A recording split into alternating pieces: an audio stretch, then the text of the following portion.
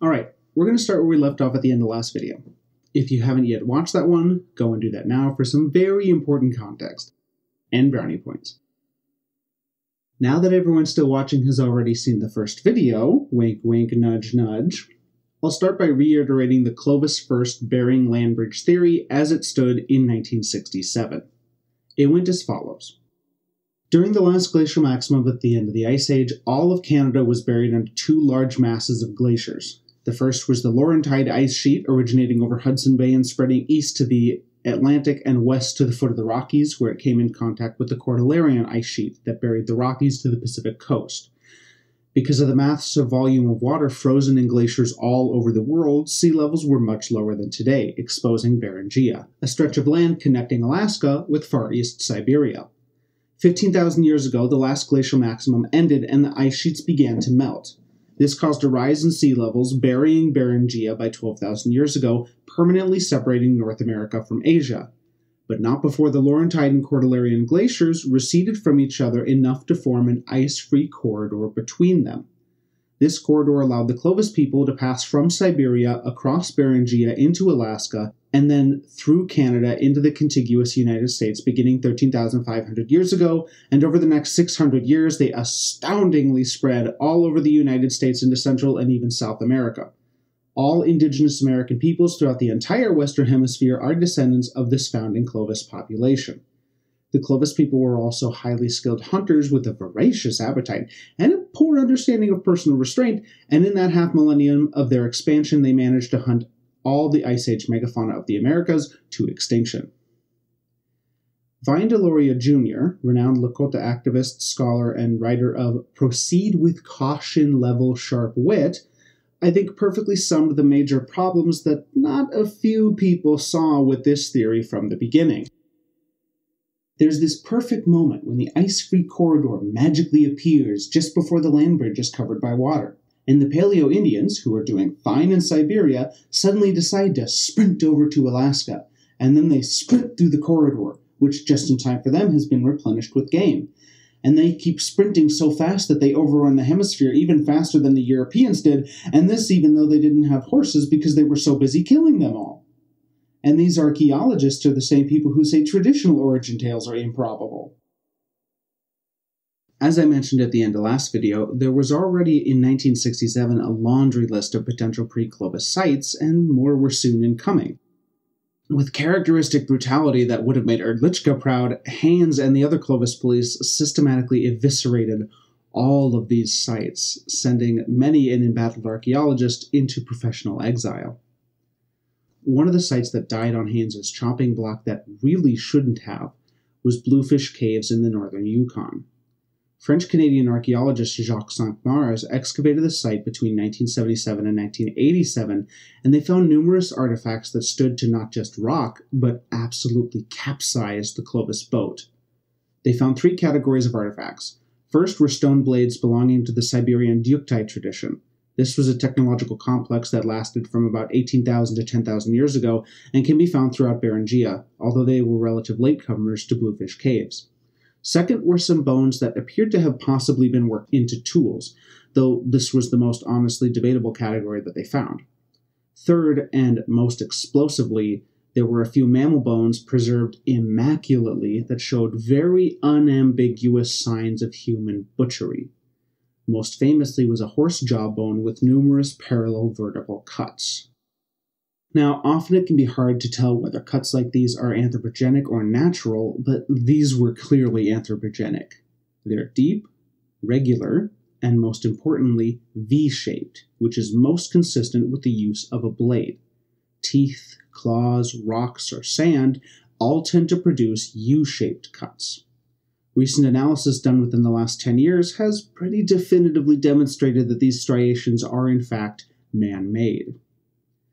What was so offensive about this site was that the bone material was radiocarbon dated and found to be 24,000 years old, 10,000 years before Clovis. Now, mind you, 24,000 years ago was during the height of the last glacial maximum. The ice free corridor wouldn't be open for a long time, and Bluefish Caves is on the wrong side of the ice. So, human habitation at Bluefish honestly doesn't pose any threat to a Clovis first migration south of Canada. But nope, the Clovis crowd wasn't going to have it. Clovis were the first people to step foot anywhere in the Americas, and that was final. Cinq Mars was laughed out of town, and Bluefish Caves promptly forgotten for decades. And for no good reason either.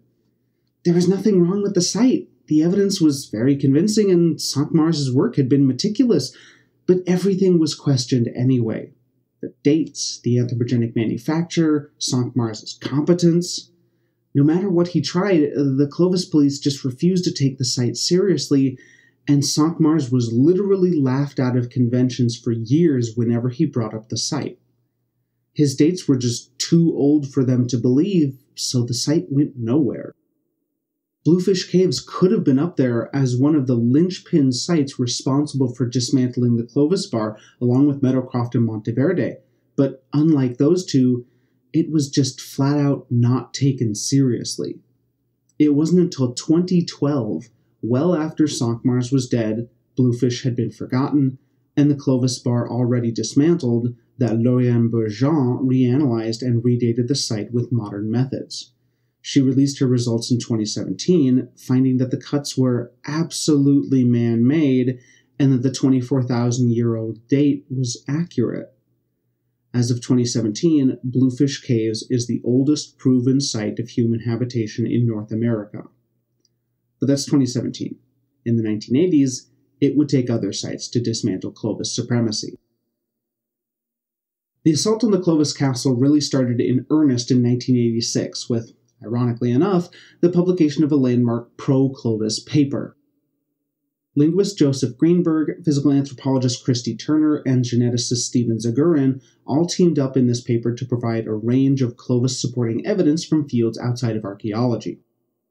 Linguists had long noticed connections between North American and Siberian languages, however, many were highly skeptical of Clovis First's 13,000 year timeline considering the extent of linguistic diversity in the Americas.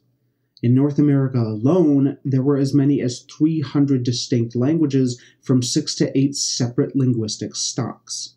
These parent stocks are technically called phyla, though they're often just called families, which can get a tad bit confusing because there's a smaller unit of classification, also called a family.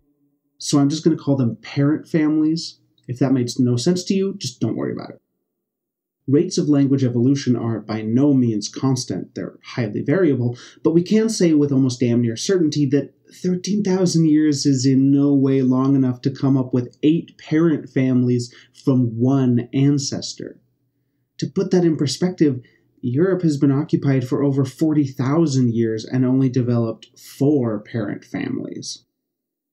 Joseph Greenberg simplified this problem by proposing that the Americas actually possesses only three parent families. Aleut, comprising the Arctic languages, Na Dene, comprising languages present in far northwest Canada as well as the American Southwest, and Amerind, featuring everybody else. He asserted that this three way linguistic split represents three waves of migration. Aleut was the youngest, arriving only around 2000 BC. Na Dene was slightly older at around 7000 BC, and Amerind the oldest, arriving just a bit over 11,000 BC. Christy Turner echoed this three wave migration theory by analyzing teeth morphology. Now, all humans have the same number and type of teeth, however, those teeth can differ in very subtle but detectable ways along certain ethnic lines. Turner analyzed 28 traits on some over 200,000 indigenous teeth and came to the same groupings as Greenberg. Now, these featural differences give no evolutionary advantage, hence they're assumed to be random mutations which occur at a constant rate. Turner compared these indigenous teeth with East Asian teeth to establish a timeline of migration, and surprise, surprise, also came to about the same time frames as Greenberg. The geneticist Steven Zegura, providing an inkling of contrariety, did state that from a molecular biology perspective, quote, a tripartite division of modern Native Americans is still without strong confirmation, end quote. He did, however, assert that there was a high level of genetic homogeneity across indigenous American populations, all showing very similar genetic mutations. This suggests a very small founder population, possibly around 1,000 individuals or less, which is precisely in line with typical Clovis doctrine. Now, these claims were wild, and they were wildly unpopular. The Clovis hardliners loved it, to be sure, but everyone else was absolutely baffled. The entire field of American linguistics was particularly gobsmacked. A sampling of statements from linguists on the matter goes something to the order of superficial, specious, a vacuous hypothesis, and my personal favorite, somewhere between zero and hopeless. wow, that's harsh. To make a long story short ish, the claims this paper made were absolutely not supported by any evidence whatsoever, and the paper sparked waves of rebuttal studies demonstrating its gaping flaws. This was important because all this new research added to our understanding of the late Ice Age world, especially in the field of genetics. Okay, this is going to require a brief intro into genetics. You can trace genetic lineage through two methods paternal Y chromosome DNA, which fathers pass on to their sons but not their daughters, or maternal mitochondrial DNA, which mothers pass to both their daughters and their sons, but only the daughters will continue to pass it on. DNA mutates over time, and these mutations create patterns which scientists can group together into a classification called a haplogroup. As mutations continue, new patterns emerge which define new haplogroups. These mutations usually occur at constant rates, so you can use these mutations to trace a timeline of when, and to a certain extent where, haplogroups split off from one another, and thereby get a picture of human migration. The rate of mutation is different between mitochondrial and Y DNA, so you'll have two separate types of haplogroup Y haplogroups and mitochondrial haplogroups. For reasons that are above my pay grade, mitochondrial DNA was easier to study and therefore sequenced first. Now, I want to make one thing very clear. Genetics is a very complicated and messy field, and the more we learn about it, the more complicated it gets. A haplogroup does not correspond to a racial group. Race, as traditionally understood in the West, is entirely a function of phenotypic features, things like skin color, hair color, facial and skull structure, etc. These things are genetically determined, but not by the patterns in mutation that define haplogroups. Consequently, it is very common for haplogroups to cross boundaries of race and phenotypic differences. To give you a good example, the R1b paternal haplogroup is the dominant haplogroup among white Western Europeans. You know where it's also very common? Among West Africans, who are most certainly not white. As we'll see later in the video, this divide between Western notions of race and the realities of genetics has proven to be a frequent stumbling block for people looking to rewrite the story of American antiquity. In 1990, a landmark study mapped the mitochondrial DNA of the indigenous American genome. Indeed, displaying a remarkable level of, my, of, genetic homogeneity, it was found that all indigenous DNA from across the Americas can be placed into five haplogroups, just four of which comprise 96.9% of this DNA. These four were very creatively named A, B, C, and you're never going to guess D. It's D. A, C, and D are common in northern Siberia. B is almost entirely absent in Siberia but present in every indigenous American. None of these four haplogroups are present anywhere in Australia, Africa, or Europe. Three other haplogroups made up the remaining 3.9% of DNA. Haplogroups L, which is common in Europe, and H, which is common in Africa, can be accounted for by post contact admixture, which is why I didn't count them in the aforementioned five. Haplogroup X is a bit of an oddball. It's present in scattered populations around North America, as distant as the Anishinaabe of the Midwest, the Bella Coola of the Pacific Northwest, and the Zuni of the Southwest, but nowhere in South America, and it's also present in Europe and India. We'll be revisiting X later. Originally, these results were seen as confirming the three wave migration theory out of Siberia, with the largest haplogroup interpreted as being the Clovis haplogroup. The fact that the dates given for departure from Asia stretched back at least 25,000 years was seen by Clovis loving archaeologists as just the imprecise nature of genetics compared to the more hard science of archaeology.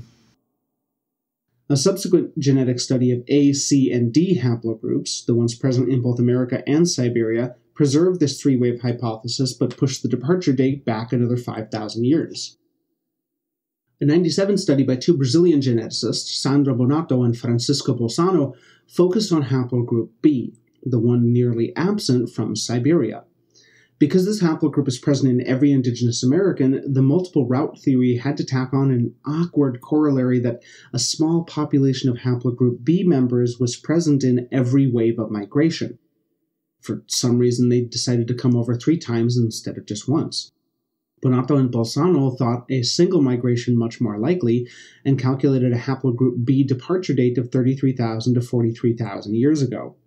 Once in Beringia, the group split, with one branch going south before the last glacial maximum and the other staying in Beringia until after the ice free corridor opened back up again. At this point, they migrated south in one to two waves. In their assessment, there was only one wave out of Asia, but two to three waves out of Beringia. This model has gained more traction among geneticists, though not universally, and with 20 years of research and modification, has morphed into the modern Bering standstill hypothesis. As alluded to before, amongst archaeologists, at least back then, and especially amongst Clovis firsters, there was very much a sense of genetics and even linguistics not being as precise a science as archaeology. They were happy to lean on genetic research when it threw them a bone and discard it when it threw them a monkey wrench. If the challenges to Clovis primacy were going to have any impact, they were going to have to come from within the field of archaeology. Meadowcroft Rock Shelter is an unassuming little site about 30 miles southeast of Pittsburgh in Pennsylvania. Led by James Adovasio, author of one of my source books, it was first excavated from 1973 to 1979 and has seen waves of subsequent excavations all the way to the present day. What was found there was the first evidence to seriously challenge the Clovis bar that couldn't be laughed away or ignored the way Bluefish Caves was. Adovasio was meticulous from the beginning. The excavation had broad and unwavering financial support from donors, so they had the fortune of being able to take their time. And take it they did.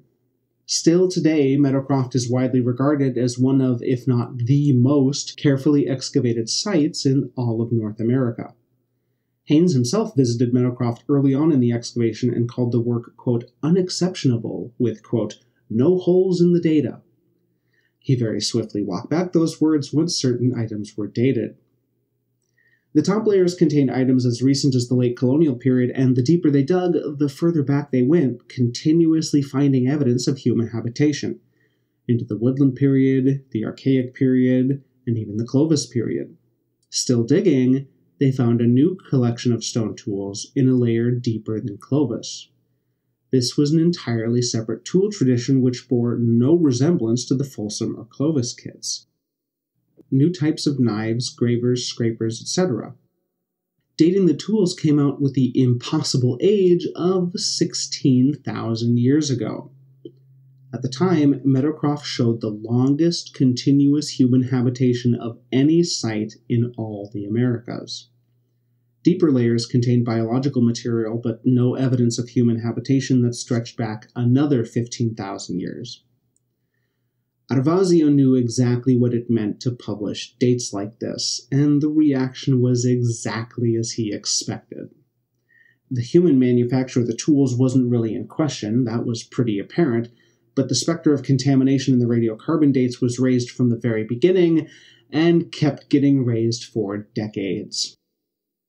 Adovasio had sent the samples to the Oxford Radiocarbon Dating Facility in England, one of the preeminent radiocarbon dating labs in the world.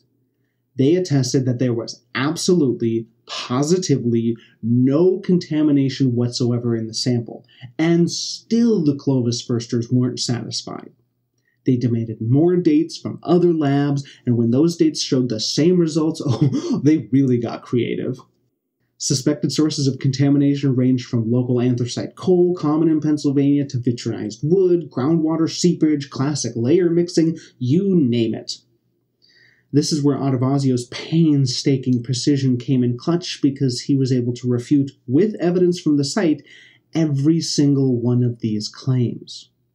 It's worth noting that, except for one person, nobody questioned the Clovis and post Clovis samples, nor the pre 16,000 uninhabited samples. Somehow, it was only the pre Clovis habitation samples that had gotten contaminated. Because that makes sense. And remember, all of these different samples were being tested by the same labs. Aside from the Clovis drama, Meadowcroft is also noticeable for the insight it's given us to the late Ice Age ecosystem. The site yielded the largest haul of floral and faunal materials of any site in the eastern US, over 2 million samples, providing an exceptional window into the environmental changes over the last 30,000 years. At the height of the last glacial maximum, Meadowcroft sat less than 50 miles south from the glacier's southern edge. At the time, the environment that near the ice was expected to have been barren and inhospitable, at best reminiscent of far northern tundra. The picture we got from Meadowcroft demonstrated a landscape that was much more lush and habitable than previously thought. Findings that were not without their own controversy. The Clovis Firsters really had a paramount ability not just to come up with crazy bullshit to question a site, but to do it convincingly enough to keep a site in limbo for years. But no matter how hard they tried, they couldn't push Meadowcroft out of the conversation entirely. Unfortunately, however, one site wasn't going to be enough to crack the Clovis Dam. It would take others. That honor, or misfortune, fell to Tom Dillehay and the Monte Verde site. Monte Verde sits in south central Chile, way down in northern Patagonia, and from 1977 to 1985, Dillehay and his partner Mario Pino led an excavation. Their findings were published in two massive works, the first in 1989 and the second nine years later in 1997. Like in Meadowcroft, it's seen numerous subsequent excavations up to the present day. The Monte Verde site is absolutely unique in American archaeology because it's what's called a wet site. At some point in the distant past, it was covered over by a peat bog, and the wet but anaerobic environment allowed for pristine preservation of organic materials. These types of sites are very common in Northern Europe, but very rare in the Americas. The site consisted of an animal hide tent structure tied to a wooden frame with plant fiber rope, and all of these components were preserved. One of the most famous finds was a wooden stake with a piece of rope literally tied around it. Several clay hearths lay scattered around the structure, one of which had a human footprint in it. There were numerous seed and plant remains, bones with signs of butchery, even human hair, and a new set of stone tools completely unrelated to Clovis. The site was perfectly situated to take advantage of local resources. It was about a day's walk from the ocean in one direction and the mountains in another, and it was clear that the inhabitants were accessing both. Their diet was found to be mostly seafood complemented with red meat, and they were also eating wild potatoes, several thousand years before their domestication. About a third of their tools were made from non local stone, and they were using several medicinal plants that are still in use by inhabitants of the region today. What's more, the site showed areas of specialization. There was one location where game was butchered, a second location was where food was prepped, another location where tools were crafted, etc. Two things were very clear. It was evident that this was not just a temporary camp of nomads. This was a sedentary village where at least some population of people lived nearly or fully year round. Likewise, it was clear that these were no recent arrivals. Everything about their lifestyle and material culture was intimately adapted to the local environment. These were people who'd been here for quite some time. So it was quite a shock when the first radiocarbon dates came back from the lab. The earliest dates showed occupation in Monte Verde at least 12,800 years ago. Now, this wasn't a pre Clovis state, but everybody agreed that there was no way in hell Clovis could have walked overland from Alaska to Patagonia in less than a thousand years. Adovasio sums the situation quite well. This meant that serious archaeologists had to swallow the idea of proliferating bands of hunters and their families trotting south 10 to 20 miles a day, charging through deserts and tangled forests, pausing for fleeting moments to mow down the big mammals that got in the way, bolting down hundreds of pounds of meat, racing over mountain passes, splashing through rivers, breastfeeding babies on the run, leapfrogging whole regions, desperately seeking what? Some mystical, mythical destination they knew lay south? Subsequent analysis pushed the date of habitation back to between 18,500 and 14,500 years ago, making Monte Verde a firmly pre Clovis site. Pino, Dillehay's colleague, alleges a date as far back as 32,000 years ago based on a sample from a charred piece of wood. However, as we've already explored, it's very difficult to tell if that wood was indeed burned in a human fireplace or just a natural forest fire. Dillehay himself, along with most others, was and still is skeptical about this log. Even the more reliable dates, though, were just too much for the Clovis crowd, and they descended on Monte Verde with vicious brutality. As much as they'd eviscerated other archaeologists, they crucified Dillehay. Again, the anthropogenic manufacture of the stone tools wasn't really up for debate, but literally everything else was. The stratigraphy was questioned, contamination was alleged, Dillehay's competence was assaulted. It got so bad and so personal, professional archaeologists were writing letters to his university trying to get him fired some people in both North and South America even accused him of being a CIA agent. Dillehay would later state, quote, People refused to shake my hand at meetings. It was like I was killing their children. He has told numerous of his colleagues that, quote, if he had to do it all over again, he wouldn't. It hasn't been worth the agony. Despite the virulent personal assaults, Dillehay and his team stuck to their guns and defended every claim. In 1997, a group of archaeological bigwigs, including Haynes and Adovasio, flew down and toured the site. Haynes was so ridiculous as to question that the footprint and even the tied rope were authentically human, to which Dillehay and Adovasio just responded with blank stares. Despite the Clovisite skepticism, most on the trip were tenuously convinced and released a statement to that effect. Haynes and the Clovis Firsters continued to concoct every conceivable excuse to uphold their sacred cow, but by now the damage was done.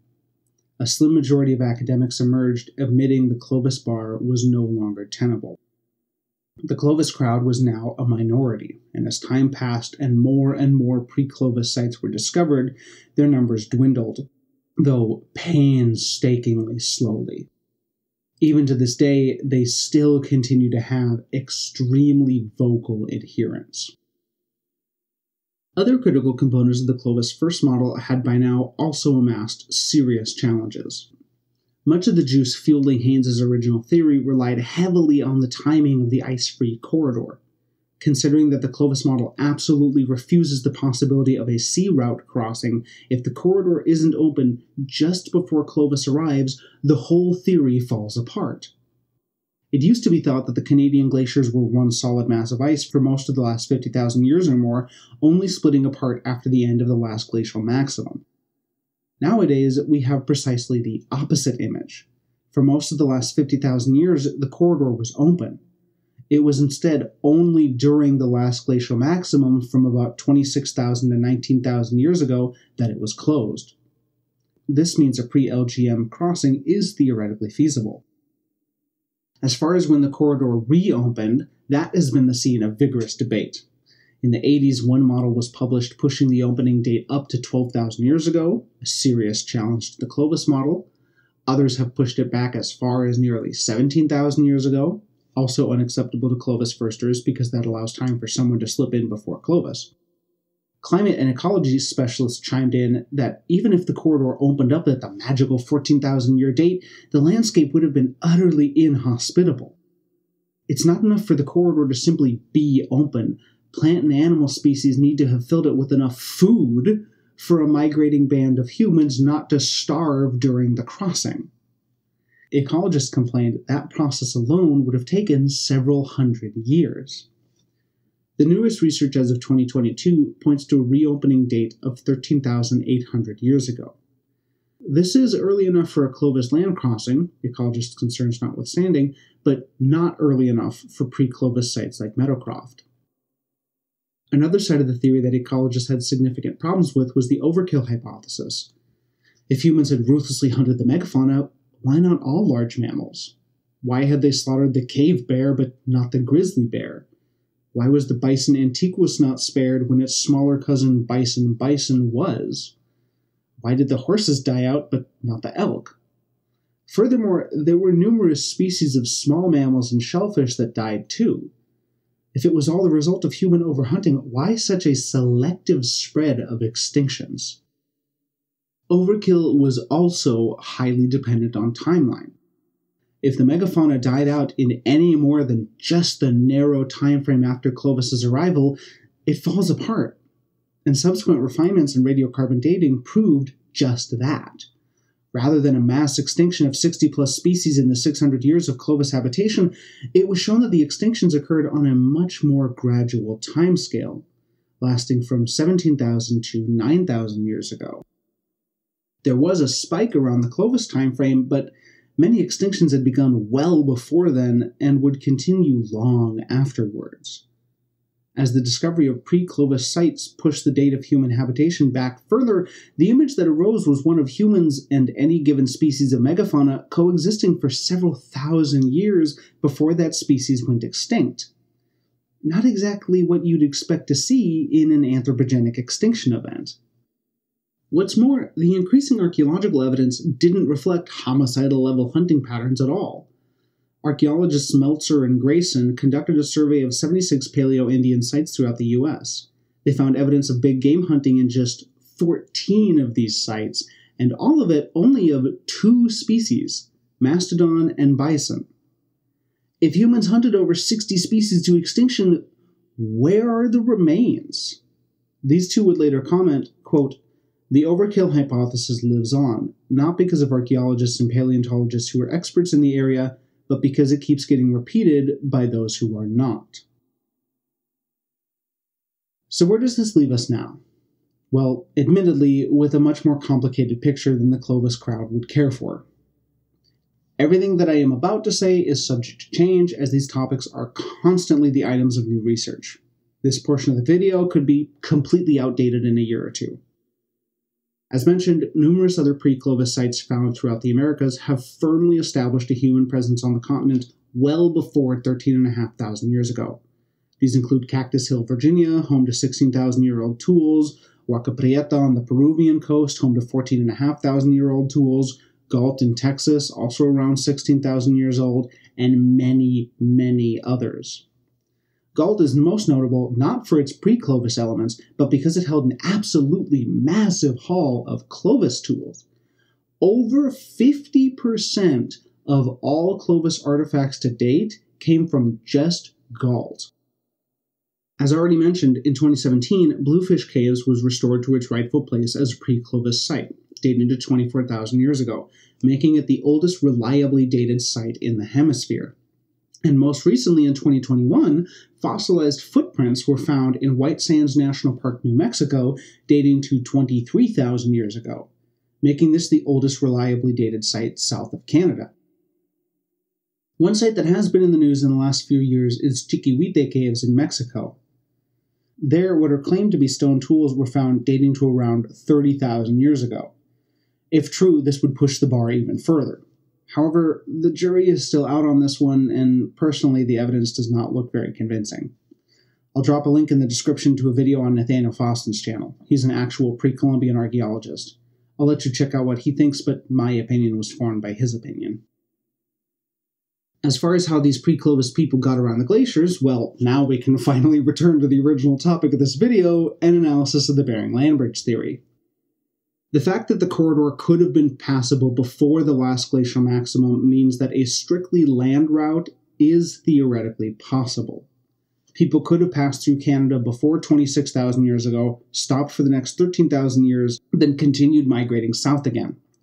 This sort of 13,000 year lowland migration would almost certainly show up in the genetic record. Indeed, there are geneticists who propose just this sort of division.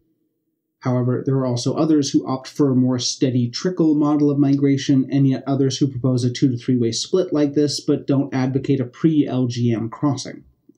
Genetics is probably the field with the most disagreement right now regarding indigenous American migration patterns. One theory that has gained a lot of traction in recent years, and to which I am admittedly partial, is the coastal migration theory. While the corridor through Canada was covered in ice for over 10,000 years, afterwards needing to be repopulated with plants and animals before any humans could survive in the region, our most recent research suggests that the Pacific coast was a much more hospitable place for the entirety of the last 30,000 years. There were certainly areas where the glaciers came right up to the water's edge, but we have strong evidence that there were always pockets of inhabitable ice free land scattered along the coast refuges of habitation among the glaciers. Many of these supported healthy enough ecosystems to feature populations of large mammals like deer and even bear, and what's more, this stretch of ocean is a veritable supermarket. We have every bit of evidence that then, as now, the North Pacific was home to no shortage of marine resources marine mammals like seal and otters, shellfish, fish, kelp, etc. Unlike the barren interior corridor, a coastal migration channel was never without abundant food. We know that ocean going vessels were used to populate Australia, Melanesia, and Japan as far back as 40,000 years ago, so it's entirely possible that Siberians sailed north, hugging the coastline, and island hopped through the refuges to get past the glaciers. For most of human history, watercraft have proved by far the most efficient mode of transportation.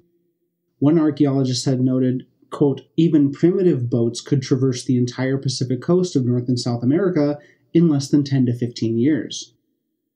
Now, the major problem with this theory is the lack of material evidence. All sites that would have been right along the coast 20,000 years ago are now underwater. It may make good intuitive sense, and we may have good evidence that it was possible, but without finding real physical evidence, we can't say with certainty that anyone actually took this route. Consequently, much attention is being paid to try and find said evidence, even though it means looking on the seafloor. Now that there is no longer one dominant and very tidy theory of Paleo Indian migration, there has been a proliferation of, shall we say, very unconventional theories, almost entirely being suggested by non professionals, that range from the novel but far fetched to the crackpot and downright racist. This category of theory has always been a feature in ancient American studies, but has definitely seen an uptick in the last 40 years. First, let's talk the Polynesian connection. This one's honestly pretty innocuous, so we'll just get it out of the way. There are some voices who suggest the possibility of a South Pacific crossing to South America. They mostly base this on three lines of evidence. First, there are a few Paleo Indian remains that some people think have rather Polynesian phenotypic features. Second, there is a tantalizing, though extremely small suggestion of ancient Polynesian DNA in South America. And finally, we know that Polynesians did traverse the entire Pacific Ocean, so maybe their ancestors could have done the same. First, all the Polynesian looking remains that we've genetically tested show no Polynesian connection. They are most closely genetically related to modern indigenous Americans who are largely descended from Siberians demonstrating that phenotypics and genetics are not a perfect comparison.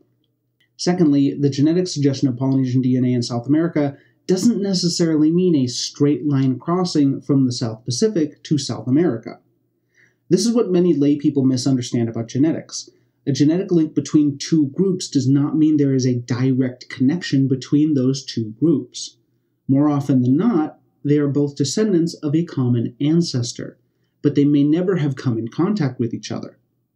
All of the modern people groups who populate the islands of Oceania, Melanesians, Micronesians, and Polynesians, are descended from a founder population that lived on Taiwan. This founder population eventually sailed south and east, and their descendants settled the whole Pacific. It's entirely possible that a portion of that founder population, or even some of that population's own ancestors, sailed in the opposite direction, going north and following the same route as the Siberians across the North Pacific, bringing their genetic signature with them, though not sailing through the South Pacific to do so. Finally, just because the Polynesians had the seafaring chops to make a Pacific crossing a thousand years ago, in no way means their ancestors 20,000 years before had the same chops. Hugging the coastline and sailing straight into the open blue are two very different things. And what's more, these sailors would have had to stop occasionally to reprovision, and we have no archaeological evidence of habitation on any South Pacific island that long ago.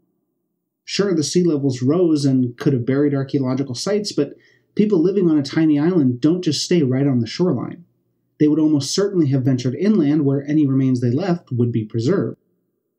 You could point out that there are multiple islands throughout the Pacific that were entirely submerged by the rising sea levels and that they could have stopped there, but unless we're suggesting that they only stopped on the islands that were conveniently buried by the ocean and no others, we should see evidence somewhere. Like I said, I find this theory rather benign. My only problem with it is the lack of good evidence. I had half a mind to cut this segment, but I kept it in because it's part of the conversation. There are other theories, though, that are not benign at all and that I very much want to debunk. A common trend we'll see with these theories is the reliance on unreliable phenotypical evidence. Many, but not all, of the oldest indigenous remains we found do look a little different when compared to modern indigenous Americans. As we've discussed earlier, though, genetics do not respect Western notions of race. There have been several Paleo Indian remains discovered that appear to sport phenotypic features somewhat different from modern indigenous Americans. These include Naia from the Yucatan, Luzia and other Lagoa Santa remains from Brazil, and Kennewick Man from Washington, among others. Their bone structures just don't look quite right. This has led some people to suggest that they are, in fact, not related to modern indigenous Americans, but are instead of a separate racial group from a separate ancestry who populated the continent before the arrival of modern indigenous peoples. The usual suggestion being, of course, that they are Europeans. Hmm. Two separate races of people living on the continent. Where, oh, where have I heard that one before? That's right. It's the Mound Builder 2 race theory all over again, this time repackaged as an Ice Age 2 race theory. Colonizers are always going to come up with some reason to undermine indigenous connections and rights to their land in order to justify colonization, murder, and theft of that Indian land. Make no mistake, that's what theories like this are intended to do strengthen the white claim to Indian land and erode the Indian claim to Indian land. And if you think I'm reading between lines that don't exist, these arguments and these theories get brought up in actual public discourse on these topics, as happened with Kennewick Man. I will absolutely make a full video on this later because it's a story worth telling on its own. In 1996, bone remains were discovered along the shores of the Columbia River near Kennewick, Washington. The police were called, who then called a private anthropological consultant. He first assumed them to be remains of a white settler, but upon further examination found they had to be much older. There appeared to be a remnant of a spear tip lodged in his hip of a type that hadn't been manufactured for four to five thousand years. Unscrewing his head from his neck and sticking it up his ass, he conducted a sloppy examination before shooting his mouth off to the local press that it was a, quote, caucasoid skeleton most closely resembling that of an early modern European. And with that, the news went national. It was subsequently radiocarbon dated and found to be around 9,000 years old, making it one of the oldest bodies found in the Americas. It was also one of the most complete ancient skeletons ever found. Overnight, every white supremacist on the goddamn continent was worshipping at the altar of Kennewick Man. An Aryan group known as the Asatru Folk Assembly threatened to sue the US government for the return of their ancestor. Colonizers all over screamed that Kennewick Man was proof white people had been in America before Indians and that therefore indigenous people had no right to the land they lived on. It was a racist mess, but it was also a professional mess too. The Native American Graves Protection and Repatriation Act, NAGPRA, had recently been passed in 1990. Lots of archaeologists hated it because, for the first time, they were now legally required to, at least to a certain extent, listen to the wishes of indigenous people regarding their own artifacts and human remains. Such a travesty. NAGPRA provided a mechanism for tribes to request the return of remains and artifacts hoarded in museums and any new ones discovered. However, it was very clearly designed to deal with more colonial age artifacts as it required a tribe making a NAGPRA claim to furnish proof that the artifact in question was theirs specifically. Something very hard to do with remains as old as Kennewick Man. The Umatilla tribe in Oregon, the closest tribe to where Kennewick Man was found, made a NAGPRA claim for the return of Kennewick Man's body. Archaeologists wanted the body for research. Understandably, given the racist mess that was now engulfing Indian country and the role that a sloppy scientist had in unleashing that mess, the tribe was very eager to return Kennewick Man to the ground, and it didn't trust archaeologists to handle him properly. The whole incident turned into a quagmire that it didn't need to, with many in the public and academia accusing Indians of being ignorant and anti science while many in Indian country were reeling from the pain of another episode of racist colonialist vitriol. The incident has severely impacted Indigenous relations with the archaeological community even to the present day. Kennewick Man was stuck in legal limbo before finally being reburied in 2017. Some research was able to be done on him in the meantime, in the early 2000s, scientists at the Interior Department were able to more carefully analyze the body and conclude that he was not, in fact, a pasty white European, but most closely resembled skeletal structures found in Polynesians or the Ainu of northern Japan. Genetic research in 2015 concluded Kennewick Man is, in fact, 100% Indigenous American. His paternal haplogroup is QM3 and his mitochondrial X2A, both haplogroups found exclusively in the Americas. Yes, that's right. Kennewick Man has the weird X haplogroup that I mentioned before. As I said back then, when we first discovered the X haplogroup in the 80s and 90s, it appeared to be quite an oddball, being found in Europe, India, and scattered around North America.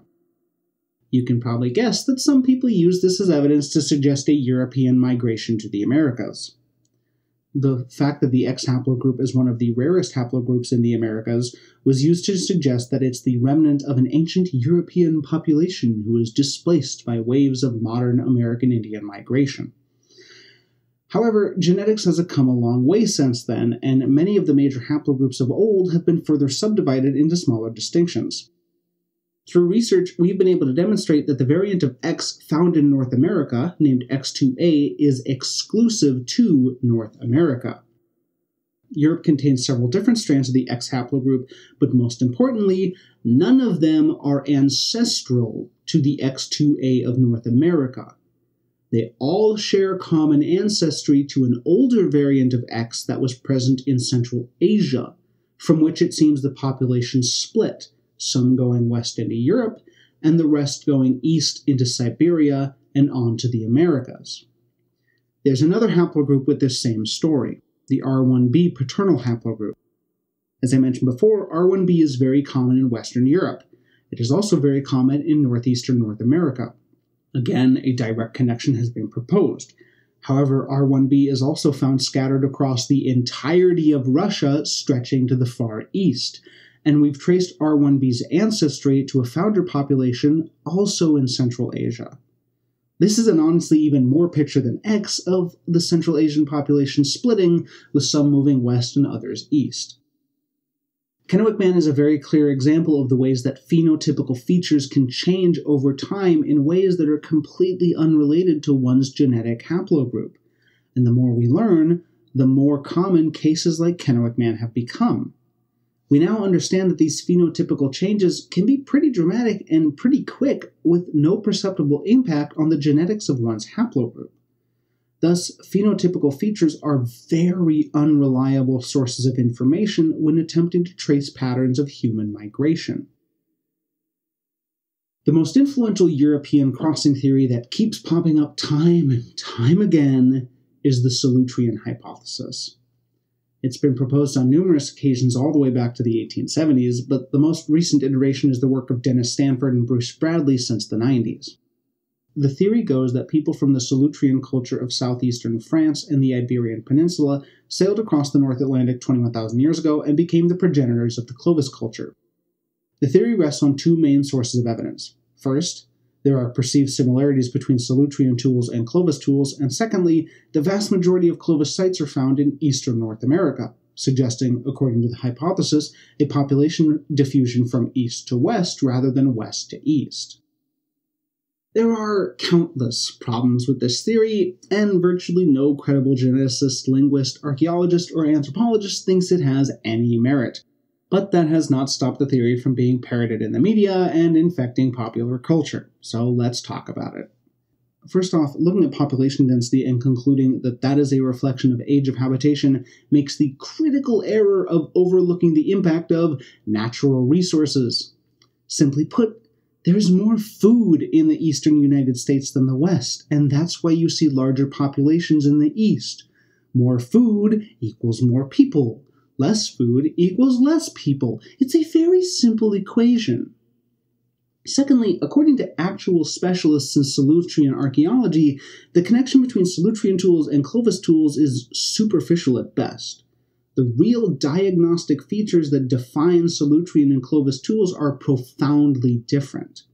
Solutrean theorists claim that pre Clovis toolkits of the eastern woodlands form a transition period between Solutrean and Clovis kits, but again, specialists of both Solutrean and Clovis tools find no credible similarities between either kits and the proposed transitional cultures. The factors that really condemn the theory have to do with the route of transportation. The Solutreans were clearly seafarers, but we have no evidence of them utilizing deep ocean resources or having the seafaring capabilities necessary for an Atlantic crossing. Thus, they would have had to cross on foot. It used to be thought that the glaciers in the North Atlantic formed a solid and stable wall from Europe to North America that the Solutreans could easily have just walked over. However, our picture nowadays is very different. The ice only advanced enough to connect the two continents for three months out of the year, in the dead of winter. For the rest of the year, the water was open. Thus, the Solutreans would have had to bolt across the ice in the thick of the Ice Age winter every year. And unlike the Pacific coast of North America, there weren't several glacier free pockets of land close to one another to hop between. They would have had to travel to Britain, then race from Britain to Iceland with nowhere to stop in between in three months, then from Iceland to Greenland again with no break in three months the whole time not falling through into the glacially cold North Atlantic. Also, what were they eating during these crossings? Iceberg fields like this are not the preferred habitat of any sea mammal. Even if they did have the seafaring chops to sail across, which again we have no evidence for, the North Atlantic at this time was absolutely choked with roaming icebergs. The sort of icebergs that sank the Titanic. And the currents would have carried them right into the Solutreans' path so they would have had to avoid them day and night of sailing. Not to mention, we have no archaeological evidence of Solutrean habitation in Britain, Iceland, or Greenland, nor any genetic evidence of a European population in North America. Now, it's possible that they all died out and left no genetic signature, but you're really going to tell me that the Solutreans were in America for almost 10,000 years, crafted the Clovis point and spread it across the entire continent, and then just died without a trace? The evidence for the Solutrean hypothesis just doesn't exist, and yet it persists. Why? Well, it persists for the same reasons that the American public was thirsty and eager to accept the idea of a Caucasian Kennewick man. It persists for the same reason the Clovis bar and overkill captivated not just the public, but professional academics and cause them to throw their professional objectivity out the window in favor of dogmatically preserving a belief with more fervor and devotion than a religion. It persists for the same reasons that some scientists absolutely could not believe indigenous habitation stretched back further than a few thousand years, and for the same reasons that it was universally accepted modern indigenous peoples couldn't have built the monumental structures that they did because non Indigenous Americans don't want to believe Indigenous societies on this continent are that old and that sophisticated. The whole story of Euro American thought regarding original habitation of the Americas is this one long tale of Westerners trying to justify colonialism. There's certainly a sector of the American population, we've learned in recent years, a much larger sector than we'd care to admit, that still holds a disgusting level of straight up racism towards indigenous peoples. For them, the idea of another white population being the real progenitors of indigenous cultures is very appealing because they just straight up don't believe indigenous people capable of building their own responsible societies. The overkill hypothesis tapped into this same nerve. An interview between Charles Mann, author of 1491, and a Nisqually man named Denny addresses just this. As the environmental movement gathered steam in the 1960s, he said white people had discovered that Indians were better stewards of the land. Indigenous people were superior to them. Horrors! The Archies, that's what Denny called the archaeologists, had to race in and rescue Caucasian self esteem, which they did with the ridiculous conceit that Indians had been the authors of an ecological mega disaster. Typical, Denny thought. In his view, archaeologists' main function was to make white people feel good about themselves an opinion that archaeologists have learned to their cost is not Denny's alone. There's another segment of people, though, who are motivated by a desire to just ignore this country's colonial past. The doctrine of discovery that permitted Western colonization of the Americas, and which numerous U.S. court cases have recognized is still the foundation of U.S. law and legal legitimacy on the American continent, was predicated on the idea of terra nullius, empty land the idea that the continent was completely devoid of people and thus open for European colonization. Of course, the land wasn't empty. There were people here, and Europeans justified this discrepancy by categorizing Indians as either not people at all or not civilized enough to deserve being treated like people. Thus, centuries of pillage, rape, murder, theft, and genocide were all justified by the idea that indigenous societies weren't sophisticated enough to be considered worthy of existence. The more and more we learn about indigenous history in the Americas, the more and more this terra nullius perspective is exposed for the racist trash it is. Indigenous societies were sophisticated, and they've been here for a very long time.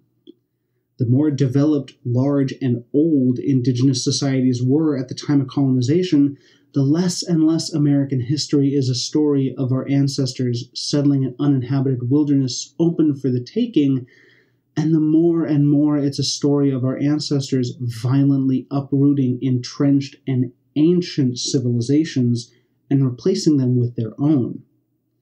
For all but the most ardent racists, this is an image that can't just be comfortably ignored. So we stuff it down. We try to believe anything else. We grasp at straws and cling to them for dear life. We love the idea that Indians are recent arrivals. We chase the idea that Indians are settlers and colonizers just like us, and that we too have an ancestral claim to this land. We emphatically embrace the idea that Indians are irresponsible stewards of their resources, and that for the sake of humanity and nature alike, it's best that if we white people take the lead on resource management. We will believe anything, anything, if it means not confronting the fact that the land you and I live on was stolen for no reason better than greed, that this theft deserves justice, and that justice for our country's past injustices is possible. Thank you all very much for watching. I hope you enjoyed this episode and this exploration through the rich and storied history of our perceptions of human migration in the Americas.